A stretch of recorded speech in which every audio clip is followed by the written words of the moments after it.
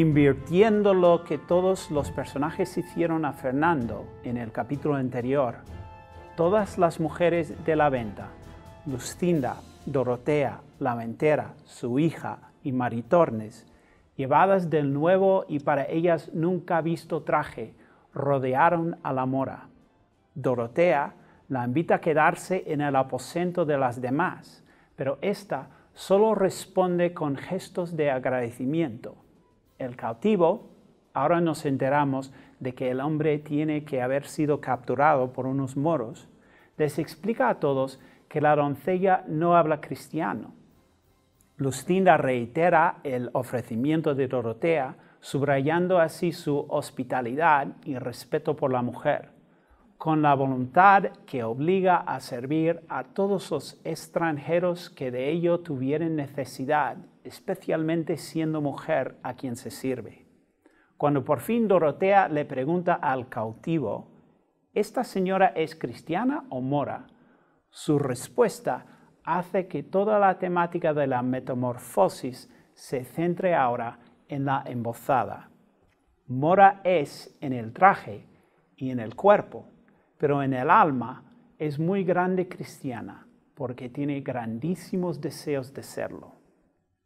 Desde que salieron de Argel, no han tenido oportunidad de cumplir todas las ceremonias que nuestra Madre la Santa Iglesia manda, pero la intención es bautizarla cuanto antes.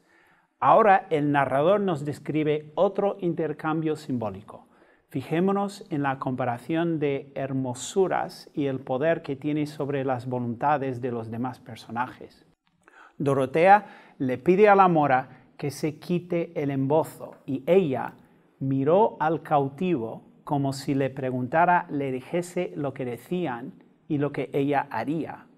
Él, en lengua arábiga, le dijo que le pedían se quitase el embozo y que lo hiciese, y así se lo quitó y descubrió un rostro tan hermoso que Dorotea la tuvo por más hermosa que a Lucinda y Lucinda por más hermosa que a Dorotea, y todos los circunstantes conocieron que si alguno se podría igualar al de las dos, era el de la mora, y aún hubo algunos que le aventajaron en alguna cosa.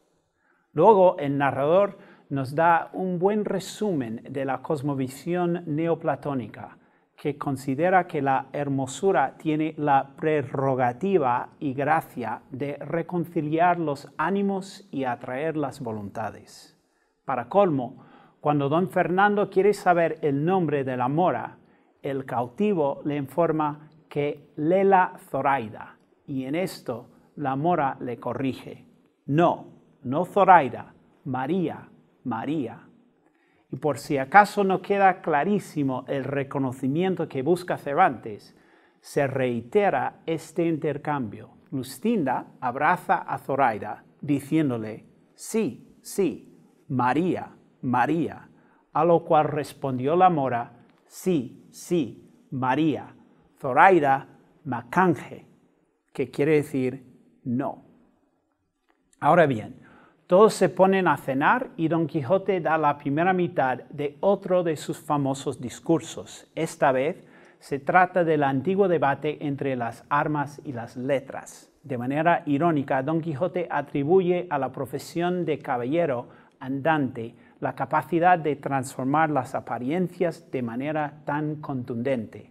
O sea, los múltiples autores del texto que estamos leyendo no han tenido nada que ver. ¿Cuál de los vivientes habrá en el mundo que ahora por la puerta de este castillo entrara y de la suerte que estamos nos viere, que juzgue y crea que somos quien somos? La arenga que da Don Quijote a favor de las armas es impresionante y es importante reconocer que está distinguiendo entre los soldados y los letrados, estos últimos siendo los abogados y políticos de la época y no necesariamente entre la guerra y la literatura per se. Así que es comprensible el cinismo que expresa ante los que, aunque pasan por alguna pobreza, al final siempre logran mandar a gobernar desde una silla. Sin embargo, es difícil no ver un contraste irónico entre la educación humanística en que se basa la vida estudiantil y la gorda defensa que monta Don Quijote de la guerra justa, por ejemplo, cuando alude a Aristóteles y San Agustín para decir que las armas tienen por objeto y fin la paz y que esta paz es el verdadero fin de la guerra. Además, si Don Quijote prefiere las armas, pues es cuestionable la evaluación de un hombre que quiere resolver todo a través de la fuerza de su brazo. ¿No podría haber aquí cierto autorretrato de Cervantes? Es decir, si el soldado busca la paz, pues el soldado escritor también.